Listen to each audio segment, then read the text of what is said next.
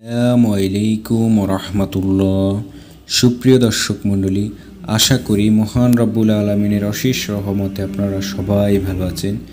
গত ভিডিওতে আমরা বলেছিলাম যে অভ্যাসগুলোর কারণে আমাদের পিছনে দারিদ্রতা লেগেই থাকে।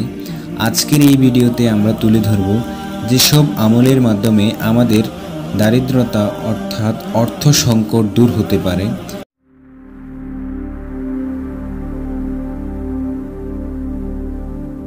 রাব্বুল আলামিন দুনিয়ার ব্যবস্থা ঠিক রাখার জন্য বিভিন্ন ধরনের মানুষ সৃষ্টি করেছেন। কাউকে গরিব বানিয়েছেন, কাউকে ধনী বানিয়েছেন। তুলনামূলক গরিবরা বেশি অর্থ অভাবে পড়েন। আমাদের পাড়া প্রতিবেশীদের মধ্যে এমন বহু অভাবী মানুষ রয়েছেন যারা দীর্ঘদিন ধরে কঠিন রোগে ভুগছেন অথবা চিকিৎসা করাতে পারছেন না। ইচ্ছা থাকা সত্ত্বেও ছেলেটাকে পড়াতে পারছেন না এবং মেয়েকে বিয়ে দিতে পারছেন না। এমন অভাবী মানুষের অভাব নেই।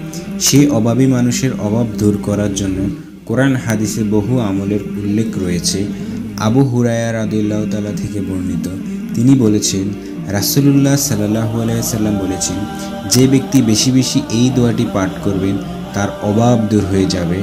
দোয়াটি হলো, আল্লাহুম্মা ইন্নি আউযুবিকা মিনাল ফাকরি ওয়াল কিল্লাতি ওয়াজিল্লাতি ওয়া উজলিমা অর্থ, হে আল্লাহ, আমি আপনার কাছে আশ্রয় চাই দরিদ্রতার থেকে এবং আপনার কম দয়া থেকেও অসম্মতি থেকে এবং আমি আপনার কাছে আরও আশ্রয় চাচ্ছি কাউকে জুলুম করা থেকে অথবা কারও দ্বারা অত্যাচারিত হওয়া থেকে। এরপরে যে আমলটি করবেন সেটা হচ্ছে ইস্তেকবার পড়া। হজরত আবদুল্লাহ ইবনে আব্বাস রাদিল্লাহ তাল্লাহ থেকে বর্ণনা করেন রাসুল্লাহ সাল্লাহ আলাইসাল্লাম বলেছেন, যে ব্যক্তি নিয়মিত ইস্তেকপার করবেন আস্তাক ফিরুল্লাহ রাব্বি মিনকুল্লি দামি আতুবিলাইহি আল্লাহ তালা তার সব সংকট থেকে উত্তরণের পথ বের করে দেবেন। সব দুশ্চিন্তা মিটিয়ে দিবেন এবং এবং অকল্পনীয় উৎস থেকে তার রিজিকে সংস্থান করে দিবেন।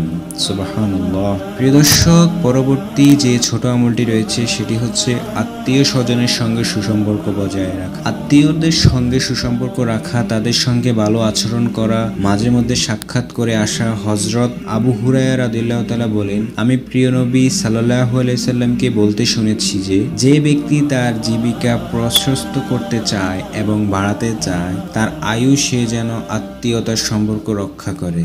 শেষ যে আমলটির কথা বলব, সেটি হচ্ছে নিয়ামতের সুক্রিয়া আদায় করা। রাব্বুল আলামিন বান্দার প্রতি তখনই সবচেয়ে বেশি অসন্তুষ্ট হন, যখন কিনা বান্দা সবকিছুর পাওয়ার পরেও রবের অকৃতজ্ঞতা প্রকাশ করে। তবে বান্দা যখন সুক্রিয়া আদায় করেন, রাব্বুল আলামিন তার প্রতি খুশি হয়ে যান।